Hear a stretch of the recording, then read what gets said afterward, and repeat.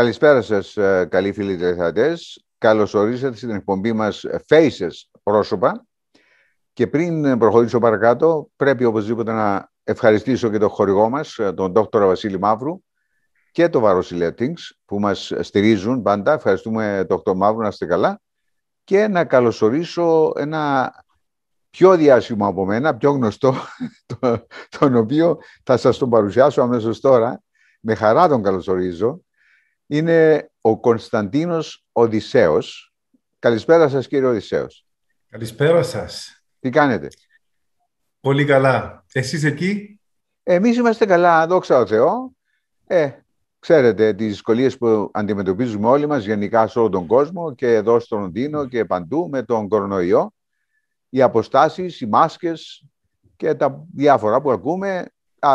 Ας ευχηθούμε ότι πολλά πράγματα θα αλλάξουν και σύντομα θα επανέλθουμε στην ομαλότητα. Ας το ευχόμαστε. Θα επανέλθουμε, είμαι βέβαιος. Λοιπόν, ε, θέλω ειδικότερα έτσι κάνουμε μια ειδική εκπομπή απόψε στην εκπομπή Faces, γιατί είναι δύο τα θέματα. Πρώτα, να μάθουμε πιο πολλά για τον Κωνσταντίνο Οδυσσέος και δεύτερον, για την εμπλοκή του στην πολιτική. Έτσι.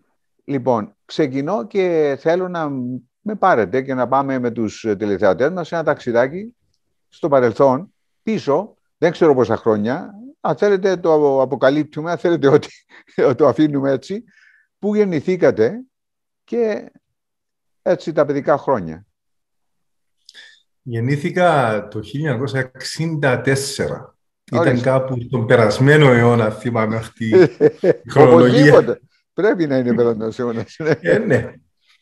Εντάξει, σε μια ταραγμένη για την Κύπρο εποχή, 1964, ήταν αμέσως μετά την αποχώρηση των Τουρκοκυπρίων, τα γνωστά γεγονότα, που ευτυχώς σηματοδότησαν και τη συνέχεια της Κυπριακής Δημοκρατίας, ε, χωρίς να έχουμε θέματα αναγνώρισης, και θα τα πούμε αργότερα αυτά, μην πολιτικοποιήσουμε. Ναι.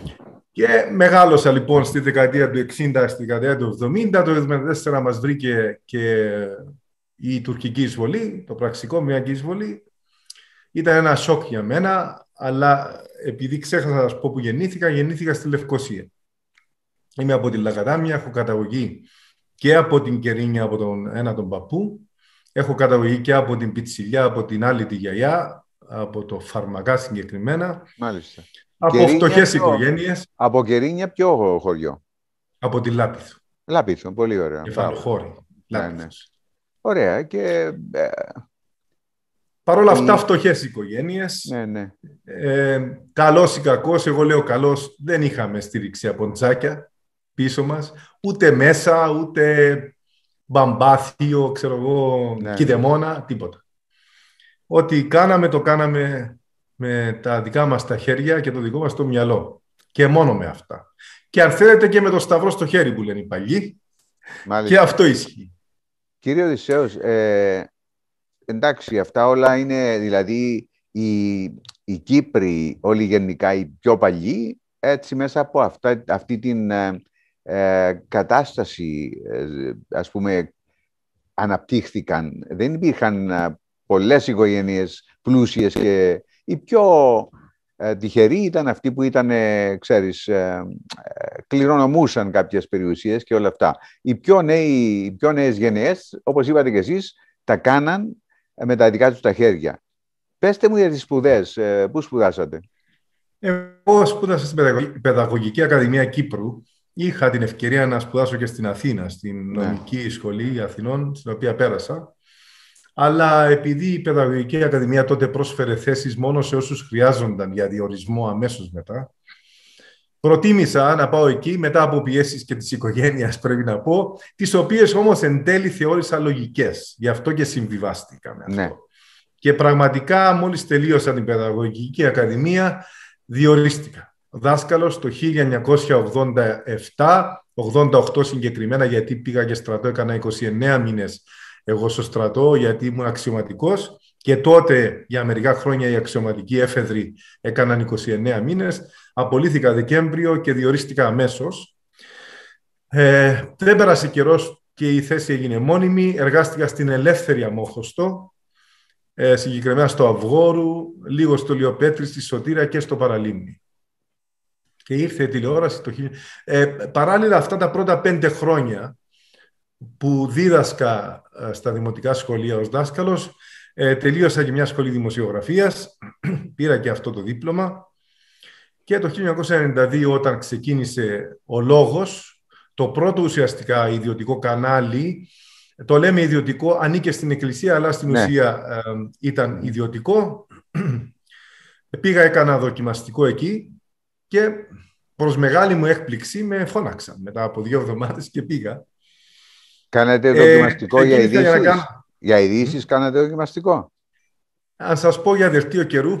Για δελτίο καιρού. Δελτίο καιρού. Παρ' όλα αυτά ήταν η ευκαιρία από την οποία έπρεπε να πιαστώ για να μπω στην τηλεόραση, γιατί ήταν όνειρό μου από παιδί η τηλεόραση. Μάλιστα. Δεν ήταν κάτι που έπεσε ουρανοκατέβατο. Ήταν εκεί ε, πάντα μέσα στο μυαλό μου. Είχα κάνει και παλιά στο Ρίκ δοκιμαστικά, αλλά στο Ρίκ ήταν άλλες καταστάσεις. Έπρεπε να έχεις εκεί κάποιο γνωστό να σε προωθήσει. Ε, να σας πω ότι έχω κάνει δοκιμαστικό στο ΡΙΚ πριν από 50 χρόνια και ακόμα δεν πήρα απάντηση.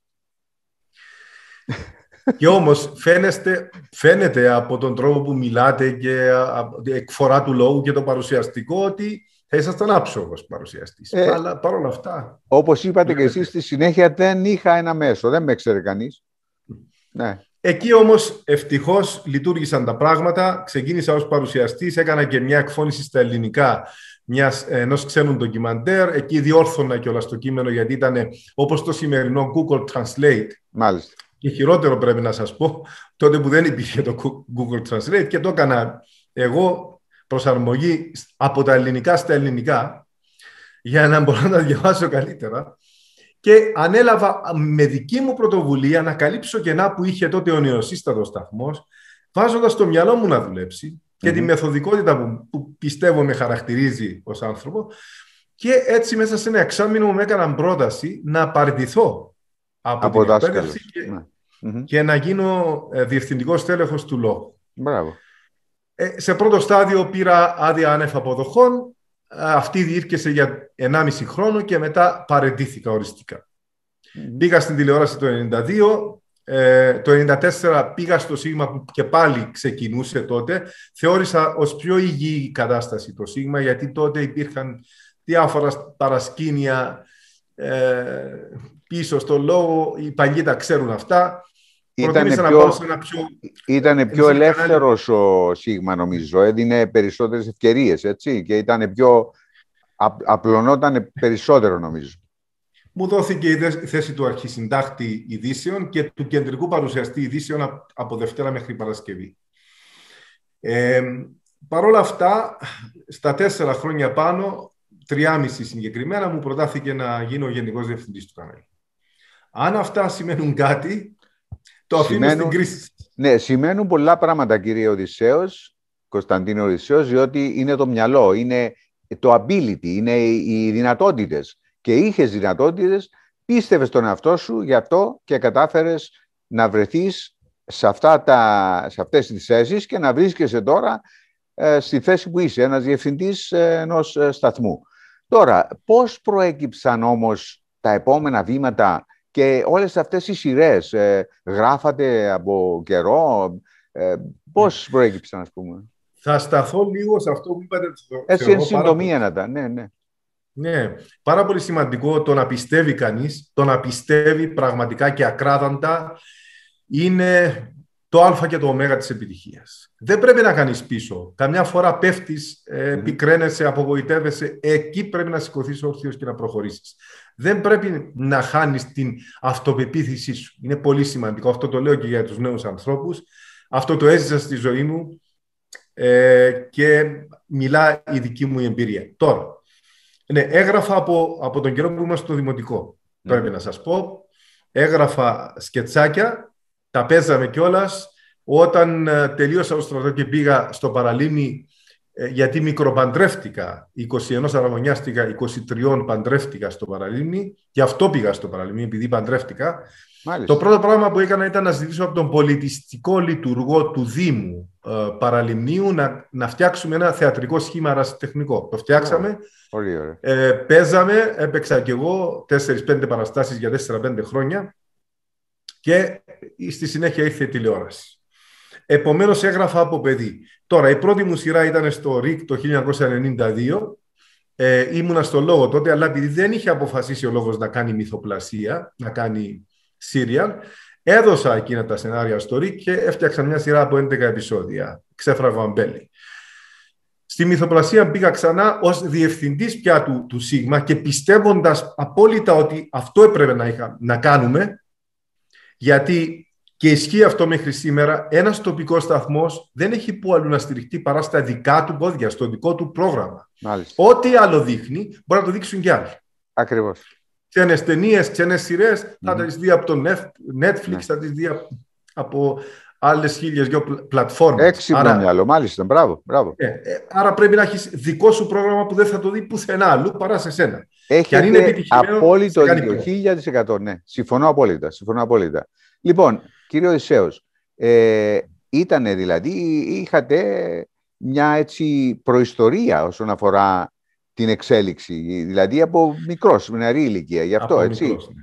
Υπήρχε, ας πούμε, κάτι στα jeans, στο, στην οικογένεια ή ήταν απλά έτσι... Να σας πω κάτι, δεν ξέρω τώρα. Ε, η αλήθεια είναι ότι έχω αρκετά skills ή ταλέντα, δεν ξέρω πώς θα τα πείτε, γύρω από, από αυτό το καλλιτεχνικό. Α, την ίδια στιγμή έχω και skills στο τεχνικό κομμάτι. Τομέα. Δηλαδή Μάλιστα. θα, θα, θα κάνω και μοντάζ, θα γυρίσω και κάμερα, θα ακούσω και τον ήχο, θα το φτιάξω σωστά. Έχω, η αλήθεια είναι ότι ήμουν τυχερός. Δεν ξέρω από Ξέρετε- πού πήρα. Ξέρετε, Ήμουν λέει, τυχερός. Οι Κυπρέοι, ξέρετε, λέει, εσείς οι Κυπρέοι, ξέρετε έτσι κυπριακή διάλεκτο. Έχεις το σκουλούτσι μέσα σου που λέμε, γι' αυτό. Είναι... Ναι, ε, προφανώς έτσι ήταν. Ε, η αλήθεια είναι ότι για αυτά όλα τα skills είναι που μου πρότειναν και, και τη θέση του Γενικού Διευθυντή και δεν, επε- δη- δεν τους αδίκησα με τη δουλειά μου. Το αντίθετο, δηλαδή από το 98 που ανέλαβα και έφτιαξα την πρώτη καθημερινή κομμωδία της Κυπριακής ιδιωτικής τηλεόρασης ή της Κυπριακής τηλεόρασης γενικότερα γιατί δεν υπήρχε καθημερινή Αχα. κομμωδία ήταν το παραπέντε για όσους παλιούς μπορεί και να το θυμούνται, δεν ξέρω, ε, εκεί στο Λονδίνο μπορεί και να μην το, να μην το είδατε, αλλά Όχι, εγώ Στην το Κύπρο θυμάμαι. Το θυμάμαι και συγχαρητήρια. Ήταν μια πολύ όμορφη σειρά, καταπληκτική σειρά. Ναι, ναι. καταπληκτική σειρά. Το θυμάμαι, βέβαια. Ναι, οπωσδήποτε. από εκεί βεβαίως δεν έγραφα μόνος μου. Ε, Έδωσα την ευκαιρία σε πολλούς σεναριογράφους να γράψουν σειρές. Ναι. Ε, ε, ε, ηθοποιοί δούλεψαν στη μυθοπλασία τα τελευταία 22 χρόνια. Εκατοντάδες ηθοποιοί, εκατοντάδες τεχνικοί, ε, οπερατέρ, ε, σκηνοθέτες. Μάλιστα. Όλα αυτά ξεκίνησαν από το 98 και βέβαια το Σίγμα πρέπει να σας πω ότι μέσα σε τρία χρόνια απογειώθηκε. Ενώ ήταν τελευταίο, πήγε Ναι. πρώτο με διαφορά. Και αυτό βεβαίως βοήθησε και τη δική μου την, την καριέρα και τη, τη- τη- το δικό μου το στάτους ε, στον τηλεοπτικό χώρο της Κύπρου, αλλά νομίζω όχι, όχι άδικα. Νομίζω ότι πως ό,τι κάναμε και εγώ και οι Νομίζω, συνεργάτες ναι. μου το, το αξίζαμε. Δικαιωθήκατε, δικαιωθήκατε. Ξέρω πολύ, πολύ καλά. Και, λοιπόν, να πάμε λίγο έτσι, εμ, ε, πριν πάμε στην πολιτική, να πάμε στα τελευταία σας βήματα. Πού βρίσκεστε τώρα, αυτή την περίοδο; Ναι. Το, χι- το 2005 πήγα στην Αθήνα στον Αλφα Ελλάδος για, για 1,5 χρόνο ως σύμβουλος προγραμμάτων. Για διάφορους λόγους ε, θέλησα να φύγω από την Κύπρο τότε. Ε, επέστρεψα όμως μετά από 1,5 χρόνο γιατί στην Ελλάδα ήταν ένα, ένα χάος η κατάσταση. το λέω έτσι αλλά ας το αφήσουμε σε εδώ. Ναι, ναι, ναι. Επέστρεψα πίσω και είχα πρόταση και από το Σίγμα και από τον Αντένα. Προτίμησα να αλλάξω ε, εργασιακή στέγη και πήγα στον Αντένα. Ήταν ένα challenge για μένα γιατί Μμμ. ήταν τρίτος ο Αντένα όταν επέστρεψα από την Αθήνα και πάλι μέσα σε έξι μήνες τον πήραμε στο σταθμό στην πρώτη θέση. Και παραμένει από τότε μέχρι σήμερα πρώτος Ε, όχι πάντα στο σύνολο του κοινού. Κάποιες στιγμές πέφτει δεύτερο στο σύνολο του κοινού, αλλά στο εμπορικό target group είναι πάντα πρώτος από τότε. Είναι αυτό που βέβαια για όσους ξέρουν που φαίνει και το εισόδημα στους τηλεοπτικούς σταθμούς. Άρα θεωρώ ότι είναι και, και, πάλι μια επιτυχημένη πορεία μετά το 2006 όταν επέστρεψα και ανέλαβα τη θέση του Γενικού Διευθυντή στον Αντένα την οποία κατέχω μέχρι σήμερα. Ε, βέβαια τώρα είμαι με άδεια άνευ αποδοχών και πάλι γιατί έκανα άλλο μεγάλο βήμα όπως έκανα και πριν από 30 χρόνια να φύγω από την εκπαίδευση. Τώρα έκανα ναι. το άλλο μεγάλο βήμα να φύγω από την τηλεόραση και να μπω στην πολιτική. Ε, κύριε Οδυσσέος, ε, πηγαίνω στον μικροπαντρεμένο Έχετε παιδιά; Αποκτήσατε παιδιά; Έχω δύο παιδιά που είναι ήδη μεγάλοι. Ε, μεγάλοι όχι, ναι, νέοι άνθρωποι είναι, αλλά δεν είναι, είναι ενήλικες. Δηλαδή, ο γιος μου είναι ήδη 31 και έχει και δύο μικρές κορούλες. Να σας ζήσουν. Δηλαδή, στα 56 μου χρόνια έχω και δύο εγγόνια. Μπράβο. Και η κόρη μου που είναι ζωγράφος, είναι, ακόμη είναι ελεύθερη. Είναι από το πατέρα πήρε καλλιτέχνης αυτή, έτσι; Έτσι ναι. φαίνεται, ξέρω. Πάντως όχι σε, σε, άλλο τομέα, όχι στον Σε τομέα. άλλο τομέα, αλλά είναι, υπάρχει καλλιτεχνική φλέβα, ναι. Στο παραπέντε έπαιξε η κορούλα μου Α, τότε. Ήταν έξι χρονών και ήταν πολύ καλή. Δηλαδή έδειχνε ότι θα μπορούσε να γίνει ηθοποιός γιατί ήταν ένα κορίτσι μέσα στο πλατό που έπαιζε και όταν δεν έπαιζε. Δηλαδή άκουγε και έβλεπες ναι. ότι αντιδρούσε. Δεν, ήταν, δεν περίμενε να πει τα λόγια της. Ναι. Άκουγε και συμμετείχε και με μορφασμούς και αυτά. Και... Μάλιστα, Αλλά δεν ακολούθησε αυτό τον κράτο. Προτίμησε να γίνει ζωγράφος. Μάλιστα. Τώρα πάμε στην πολιτική, κύριε Κωνσταντίνο Οδυσσέως, και να ρωτήσω τώρα, ε, παρετηθήκατε τώρα από τη θέση σας φυσικά για να μπορέσετε να ενταχθείτε στην πολιτική. Γιατί πήρατε αυτή την απόφαση, τι ήταν αυτό, ήταν κάτι έτσι που το σκεφτόσασταν, ήταν, ήταν στο πρόγραμμά σας ή έτσι... Κοιτάξτε, και πάλι δεν έπεσα ως αλεξιπτωτιστής. Εδώ παρακολουθώ τα πολιτικά πράγματα από 10 χρονών, από τότε που έγινε η τουρκική εισβολή και ήταν για μένα ένα, ένα σοκ. Και άρχισα να διαβάζω και να ακούω ραδιόφωνο όλες τις πολιτικές συζητήσεις και είχα διαμορφωμένη άποψη για το Κυπριακό από, από τότε, από μετά την εισβολή, από τα 10 μου χρόνια. Ε, Πρότυπο μου ήταν ο Γλάφκος Κληρίδης, πρέπει να το πω. Τον πίστευα πάρα πολύ και εξακολουθώ να πιστεύω μέχρι σήμερα ότι είχε τις πιο ορθές απόψεις στον Κυπριακό, πέρα από το ότι ήταν και έντιμος άνθρωπος. Από τους λίγους δυστυχώς ε, έντιμους ανθρώπους που ε, κατάφεραν να περάσουν μέσα από αυτή την πορεία και να μείνουν αλόβητοι ηθικά. Ε, τώρα, ε, αρθρογραφώ εδώ και πολλά χρόνια. Ναι. Στο μυαλό μου είχα την πολιτική, αρθρογραφώ στα κοινωνικά δίκτυα από τότε που είχα τη δυνατότητα να το κάνω Ε, το πρώτο μου άρθρο το έγραψα και το φιλοξένησε ο αείμνηστος ο Αλέκος ο Κωνσταντινίδης που πέθανε πριν από δύο-τρεις μήνες. Στη, στη στήλη του όταν ήμουν 20 χρονών του έστειλα ένα άρθρο για το Κυπριακό και το είδα με μεγάλη μου έκπληξη στη στήλη του. Και έγραφε ότι θα φιλοξενήσω σήμερα αυτό το άρθρο. Και γιατί το διάβασα και έχει μια τόσο συγκροτημένη δομή ε, που δεν μπορούσα παρά να το φιλοξενήσω. Μάλιστα. Και από τότε κατάλαβα ότι ήξερα να γράφω και να αρθρογραφώ ε, καλά. Ε, τα τελευταία 10 χρόνια λοιπόν αρθρογραφώ στο δικό μου τον blog και στα κοινωνικά δίκτυα για όλα τα σοβαρά ζητήματα του τόπου. Α, με ρωτήσατε γιατί αποφάσισα τώρα να πολιτευθώ. Γιατί τα πράγματα δεν πάνε καλά στην Κύπρο. Δυστυχώς δεν πάνε καλά. Ε, οι απόδημοι ε, νοσταλγούν την πατρίδα αλλά δυστυχώς η πατρίδα είναι άρρωστη και πρέπει να θεραπευτεί. Η μεγαλύτερη ασθένεια της πατρίδας αυτή τη στιγμή, πέρα από το κυπριακό, το εθνικό μας ζήτημα, που είναι κεφαλαιόδους σημασίας, είναι το θέμα της διαφθοράς.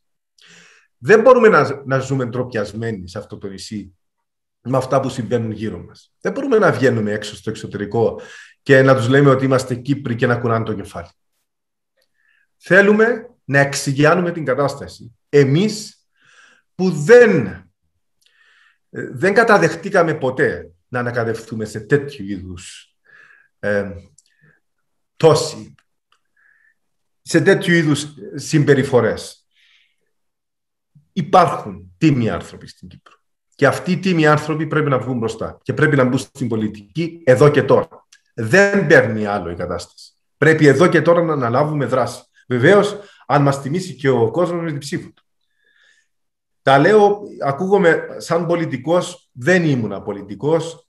Αυτά τα λέω ε, γιατί ευτυχώς ξέρω να μιλώ, αλλά τα λέω και τα αισθανομαι Και θέλω να με πιστέψετε ότι είμαι ειλικρινής. Όσο και αν ακούγεται ο λόγος μου πολιτικός. Πρέπει να θεραπεύσουμε την Κύπρο. Επιγόντως. Ε, Γι' αυτό μπήκα στην πολιτική. Είναι, είναι, είναι γεγονός ότι υπάρχουν πολλά, πάρα πολλά προβλήματα και η διαφθορά είναι το, ίσως το πιο μεγαλύτερο πρόβλημα που υπάρχει. Όμως είναι και ο τρόπος που οι πολιτικοί μας ενεργούν όσον αφορά το εθνικό θέμα και είναι λυπηρό που κατά τη δική μου άποψη υπάρχουν γύρω στα 10 κόμματα, τώρα ας πούμε 10 παρατάξεις. Γιατί να υπάρχουν τόσες ε, πολλές διαφορετικές γνώμες και ιδέες, γιατί πιστεύετε εσείς ότι υπάρχει τόσος διαμελισμός των δυνάμεων; Πέστε μου. Ακούστε, ε, θα είμαι τολμηρός. Ναι, να είστε. Έχω διαφορετική άποψη από την επικρατούσα για το τι συμβαίνει. Η δική μου άποψη είναι ότι η διχοτόμηση δρομολογήθηκε όχι μόνο από την Τουρκία, αλλά και από ελληνικούς κύκλους, στην Ελλάδα και στην Κύπρο. Δρομολογήθηκε με τα γεγονότα της δεκαετίας του 60, με το πραξικόπημα που έγινε ακριβώς για να εισβάλλει η Τουρκία. Η Τουρκία ήταν συμφωνημένη με την ελληνική χούντα και με άλλους στο παρασκήνιο και όλα έγιναν για τη διχοτόμηση. Κοροϊδεύαν τον κόσμο πριν από την εισβολή ότι υπήρχε ακόμη ελπίδα για την Ένωση. Πρέπει να σας πω ότι ο Γιώργος Σεφέρης το 1953 στο ποίημα του Ελένη μας προειδοποίησε ότι η Ένωση ήταν άπιαστο όνειρο. Ανήκω και εγώ στην Εθνικόφωνα Παράταξη, αλλά οφείλουμε μετά από τόσα χρόνια να παραδεχτούμε ότι οδηγήθηκαν όλα εκείνα τα νέα παιδιά, οι αγνοί ιδεολόγοι, που έδωσαν τη ζωή τους για την ελευθερία αυτού του τόπου και για την ένωση της Κύπρου με την Ελλάδα, λυπούμε να πω ότι ξεγελάστηκαν. Ή στην χειρότερη περίπτωση, οι εκείνοι που μας κυβερνούσαν τότε είχαν άγνοια των πολιτικών πραγμα... πραγματικοτητων Ο Σεφέρης ήταν διπλωμάτης, ήταν πρεσβευτής και ποιητής. Μετά πήρε και Νόμπελ. Στην Ελένη μας λέει ότι πολεμούσαμε για ένα πουκάμισο αδιανό. Για μια Ελένη, από το μύθο του Ευρυπίδη, ναι, ότι ναι. οι Έλληνες πολεμούσαν στην Τρία δέκα χρόνια, αλλά η Ελένη δεν ήταν στην Τρία, ήταν αλλού. Ακριβώς. Ήθελε να μας πει, γιατί για την Κύπρο μιλούσε το, το ποίημα, τα ειδόνια δεν σε αφήνουν να κινηθείς στις πλάτρες, που είναι ναι. οι ναι. Πλάτρες, Κύπρος η θαλασσοφίλητη. Ήθελε να μας πει ότι πολε... θα πεθάνουν άνθρωποι ναι. για ένα πουκάμισο αδιανό.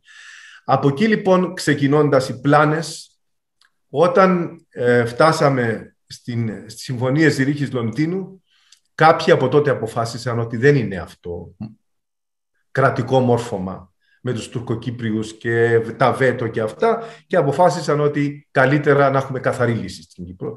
Και τη δρομολόγησαν στο παρασκήνιο. Αυτή είναι η δική μου άποψη και στους αγωνιστές έλεγαν ότι πολεμούν για την Ένωση, στην πραγματικότητα πολεμούσαν στην πραγματικότητα ήθελαν τη διπλή ένωση, δηλαδή τη διχοτόμηση.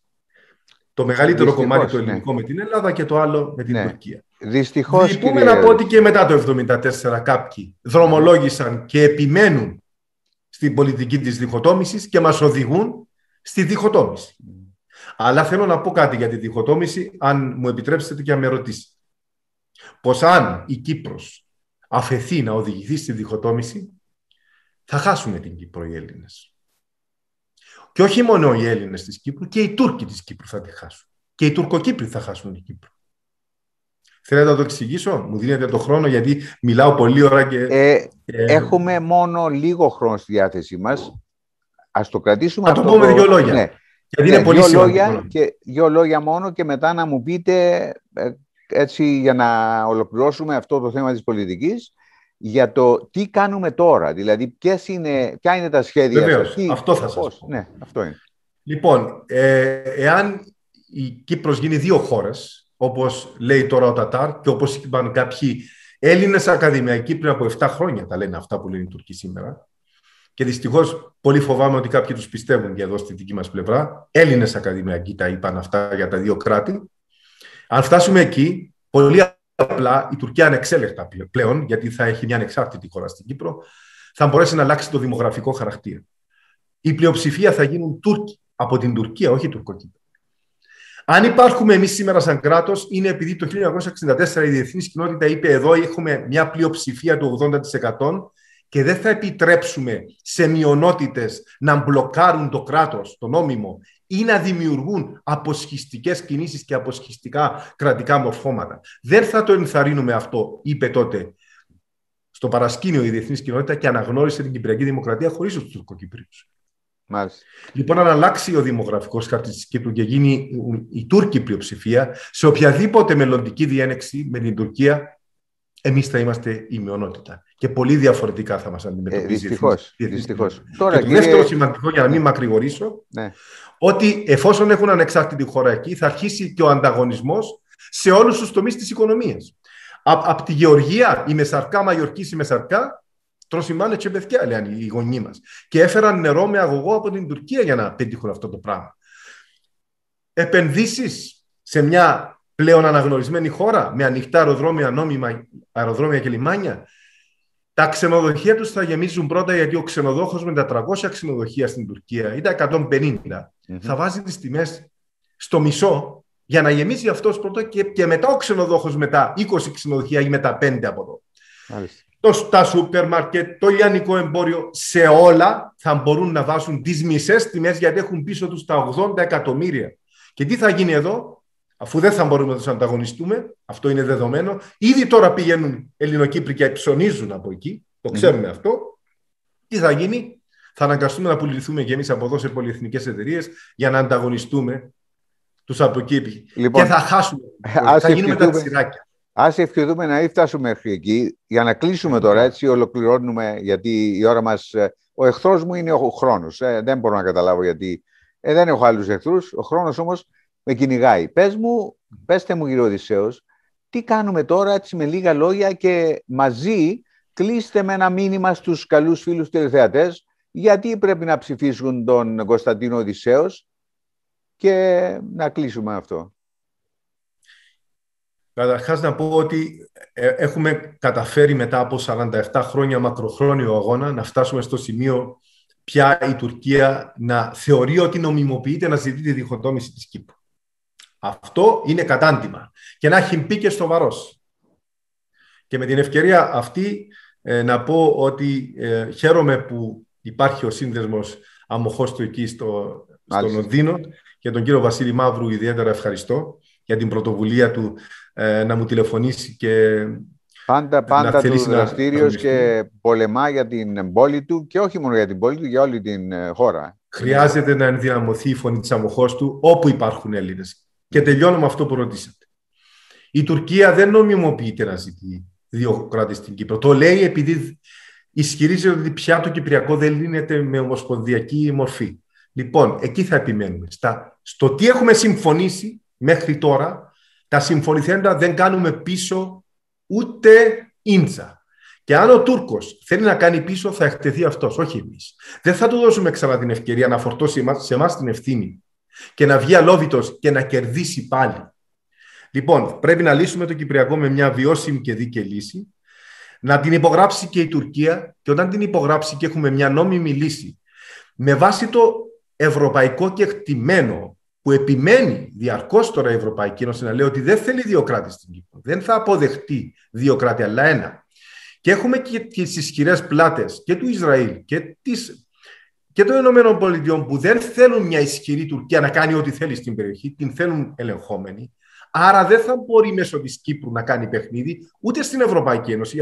Αυτό δεν το δέχεται ούτε η Ευρωπαϊκή Ένωση. Να κάνει η Τουρκία παιχνίδι μέσω της Κύπρου. Άρα έχουμε ισχυρό έρισμα να, πάνε, να πάμε να συμφωνήσουμε λύση του Κυπριακού και τότε, έχοντας παραμείνει εμείς η πλειοψηφία, σε οποιαδήποτε προσπάθεια της Τουρκίας να παραβιάσει τα συμφωνηθέντα, και πάλι θα είναι εκτεθειμένη η Τουρκία. Και πάλι θα συνεχίσουμε εμείς να είμαστε το νόμιμο κράτος. Μόνο έτσι θα φύγει η Τουρκία από την Κύπρο. Αν δεν λύσουμε το Κυπριακό, θα επικαλείται διαρκώς τη συνθήκη εγγύησεως του 1960 και θα κάνει ό,τι θέλει και στην ΑΟΣ και με τα στρατεύματα της μέσα στην Κύπρο.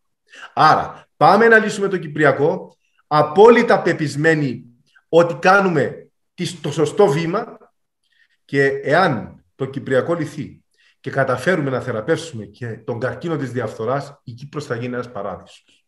Έχετε από το δίκιο. Φτάνει να βρεθεί πρώτα η λύση, έτσι, ε, εφικτή λύση για όλους και μετά τα προβλήματα τα άλλα τα εσωτερικά είναι, πρέπει να χτυπηθούν, πρέπει να τα έτσι. διαλύσουμε γιατί καταστρέφουν την αξία του... Είναι και η, η δική μου, ο λόγος για τον οποίο κατεβαίνω υποψήφιος. Η δική μου υποψηφιότητα και αυτό το χαρακτήρα της, της πολιτικής με αυτά που σας είπα και με πολλά άλλα που δεν σας είπα, πιστεύω ότι μπορώ να γίνω χρήσιμος για αυτή τη χώρα Μάλιστα. και γι' αυτό ζητώ την ψήφο. Κύριε Οδυσσέος, ε, δώστε μας ένα website κάπου μπορεί κάποιος να βρει εκείνα που δεν μας είπατε και να ξαναθυμηθεί αυτά που μας είπατε. Το blog μου είναι το Κωνσταντίνος Οδυσσέος ε, με λατινικούς χαρακτήρες και με εσύ στην αρχή. Το Κωνσταντίνος Οδυσσέος, ο DYSSEOS, είναι Κωνσταντίνος Οδυσσέος αυτό είναι το blog μου και βέβαια ε, στο facebook που έχω σελίδα και προφίλ. Το προφίλ μου είναι με ελληνικούς χαρακτήρες το Κωνσταντίνος Οδυσσέος και πεζά Ενώ η σελίδα μου είναι πάλι με ελληνικούς χαρακτήρες και κεφαλαία γράμματα. Άμα γράψετε Κωνσταντίνος Οδυσσέος θα με βρείτε. Κύριε Οδυσσέος, χάρηκα. Ειλικρινά είναι τιμή μου και χαρά μου που σας γνώρισα έτσι, έστω και μέσω Zoom εξ αποστάσεως. Σας συγχαίρω για όλα όσα κάνατε και κάνετε συνέχεια. Είστε ένας αξιέπαινος άνθρωπος και εύχομαι κάθε επιτυχία στις προσπάθειές σας. Κάπου εδώ λοιπόν να σας ευχαριστήσω και είμαι σίγουρος ότι θα τα ξαναπούμε και πάλι. Κάθε επιτυχία. Να είστε καλά. Και να ευχαριστήσω και πάλι τον καλό μου τον φίλο τον Δόκτωρο Βασίλη Μαύρου και τον Βαρόση Λεύτιν για τη χορηγία του.